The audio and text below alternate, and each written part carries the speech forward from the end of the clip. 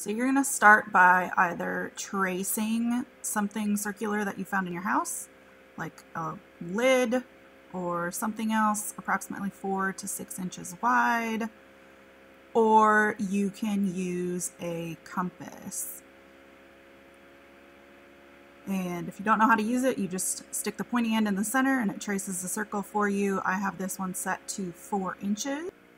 And you're going to want to make 10 or more of these.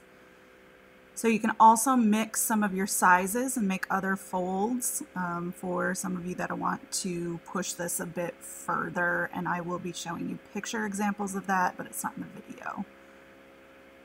So uh, I discovered that if you do a 4 inch diameter circle for triangles you can do squares with 6 inch diameter circles. So next you're just going to want to color. Um, there are some guidelines for uh, different levels. Um, level one, I want you to use a whole bunch of color and um, just try to make a balanced, colorful, good looking sculpture. For um, intermediate, um, I'd like you to use one color um, and get very, very creative with your line work and patterning and different things like that. Um, you can look at previous artists and try to do some things. Um, of course, here kind of looks like a Piet Mondrian painting. Um, so just get creative with it. Use lots of color, patterning, repetition. Try to work some textures in there. As you can see, it can be fairly simple.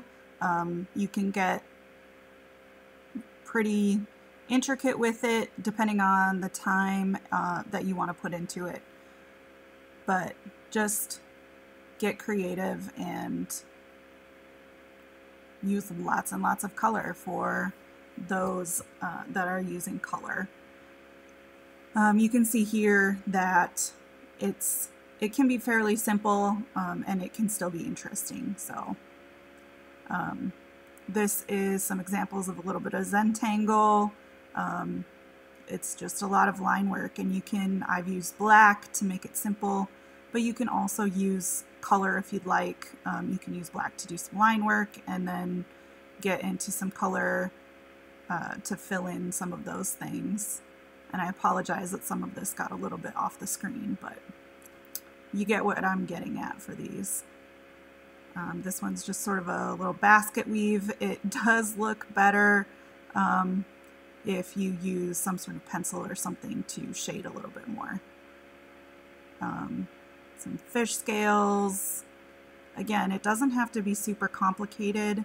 Um, just make it interesting. Um, and our goal is to just have a beautiful um, sculpture at the end of this. And again, I apologize that some of this is off the screen a little bit. So you can also do things just like a checkerboard, but maybe make your lines a little bit different. So if you don't have a ruler um, and a protractor, there is a way that you can find the center of a circle without doing anything but folding your uh, paper. So you're going to fold it in quarters and then you're going to match up, try to match up those lines um, so you get one side in the center and one side over there. You're going to put a dot on the edge of that line where you folded it and then you're going to just mark the intersections of where those the edges of the circle meet. Um, and if you draw lines between those three points, you have an equilateral triangle at that point, and that's where you're going to fold your paper. So if you don't have any tools like the protractor that I'm using right there, um, this is a very, very simple way to do that.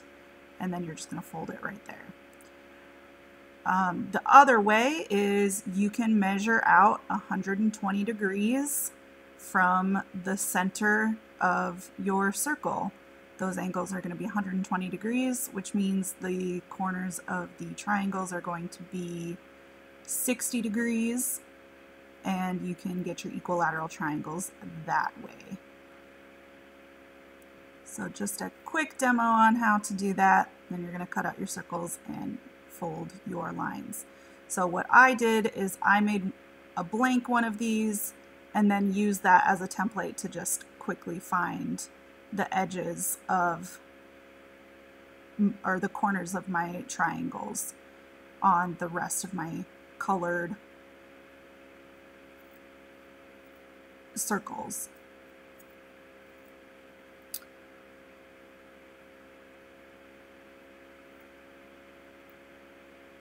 So, putting it together, I found it easiest to uh, play with the shapes that you want. Again, this is a 10 uh, sided sculpture, but you can use more, you can experiment. Um, and the easiest way I found to do that is to grab some paper clips um, or even some staples if you don't mind poking some holes in your sculpture and putting it together sort of temporarily before you glue it glue it all together at the end. Um, so I got a shape that I liked put together and then I took the paper clips off and flattened it out and then glued all my edges together. And then you have a really awesome sculpture. So stick glue works well. You can use double-sided tape. Um, you can use staples, whatever you have around to just affix these things together. And then you have a sculpture. So if you want to keep it going, um, make a whole bunch of these, make a bunch of different shapes, turn it into a mobile, um, just go nuts with it. But thanks for watching.